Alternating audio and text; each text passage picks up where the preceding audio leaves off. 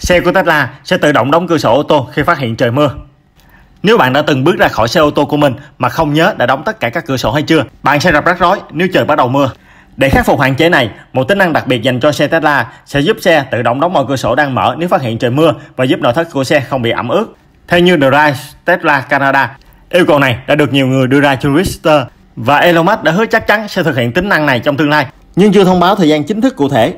Đối với những người không thể đợi bản phát hành chính thức từ phía công ty, có một giải pháp để có thể bật tính năng này theo cách thủ công, đó là vào phần cài đặt của xe.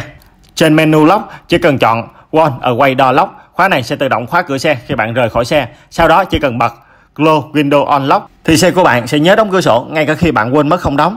Còn nếu bạn muốn nhận được thông báo khi quên đóng cửa sổ thì vẫn có tính năng tùy chọn đó. Hệ thống vẫn hoạt động cho dù trời mưa hay không. Nếu chiếc Tesla đang đậu bên trong nhà và chủ sở hữu muốn mở cửa sổ để dễ dàng tiếp cận, họ có thể chọn S Club Home. Mặc dù điều này không hoàn toàn giống với việc phương tiện có khả năng tự phát hiện trời mưa và đóng cửa sổ, nhưng nó sẽ hoạt động như một khoản tạm cho đến khi phiên bản đầy đủ xuất hiện. Một nhà bình luận cũng đã chỉ ra rằng một trong những điểm hạn chế của hệ thống này đó chính là hệ thống này sẽ tự động đóng cửa sổ cho dù bên trong có trẻ em hay động vật, có khả năng dẫn đến kiệt sức vì nhiệt độ. Nhiều người cho rằng có lẽ Tesla nên xây dựng một tính năng có thể phát hiện xem có người ngồi trong xe hay không, hoặc trước khi đóng cửa sổ có thể đưa ra menu xác nhận trên màn hình thông tin giải trí hoặc bật điều hòa không khí.